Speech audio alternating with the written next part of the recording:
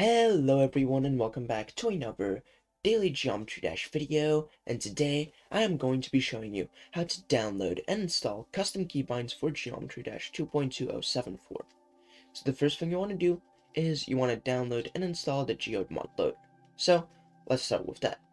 The first thing you want to do is go over to the, your search bar right up here and just type in geode-sdk.org or just click the link in the description below and it will take you to this website right here. And what you want to do is you want to click on download and download for Windows or download for whichever operating system you're using. So I'm just going to click download for Windows. And now we wait for it to be installed. So it will take a little bit depending on your internet connection, so just wait a bit. There we go. As you can see, it is now downloaded, so now we can just close the browser and open up our File Explorer and go to our Downloads folder. And here, you just want to double-click the Geode installer. You want to click OK. You want to click Next. I agree. Next. And install. It is also going to ask for you to do a Windows security action, which you won't be able to see on video. So here, you just click yes. And now you wait for the download to be complete. Geode itself is not that intensive of a program, so it shouldn't take all that long to install. So you just want to wait, basically.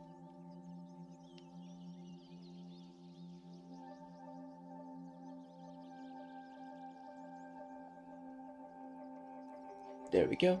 So now you just want to click on next and finish. Now you can close the file explorer and open up Geometry Dash. And here it's going to start up the game. And as you can see, we have a brand new button right down here. So what you want to do is you want to click on this brand new button. You want to go over to the download section. And here right at the top, you'll have custom keybinds it's the top three most popular mod for Geometry Dash right now. So, you just want to click on Get and install. So now you just want to wait until it downloads the mod as well as any dependencies, but this mod itself doesn't have any dependencies. So now, you just want to go over to the Restart Now button and click it. So here you will see that we have restarted the game, and if we go back to the Geode button, that the custom keybinds mod is now added to our installed mods section. So if we go over here and we go over to our settings and we go over to options and keys, here we'll be able to see that we can actually change the keybinds. So for example, if I wanted to pause the level, right, I want a keybind pausing level, I just do control plus P Control P and add. And now if I go into a level and I just press Control P, it is going to pause the level. So yeah, that is how to download, install, and use custom keybinds for Geometry Dash 2.074. If you enjoyed the video, don't forget to like and subscribe and turn on notifications, and I'll be seeing you in the next one. Peace. Did you enjoy that video and want to support the channel?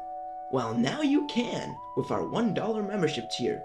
As a channel member, you'll get a shout out in every long form video I make, just like this one. You will get early access to new long form videos, sometimes days and even weeks in advance. You'll be able to vote on video topics every once in a while, and you get some cool badges and new emojis as well. If you found any of that interesting, go check out the top link in the description for the full list of perks, because I did not list everything, and yes, there is more. This is the highest value for the dollar membership on the platform.